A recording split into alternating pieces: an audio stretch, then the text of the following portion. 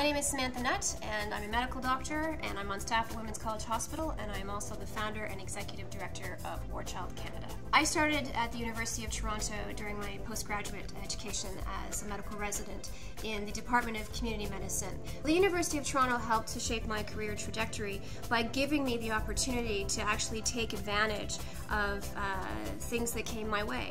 I didn't want to do things the way that they had always been done before.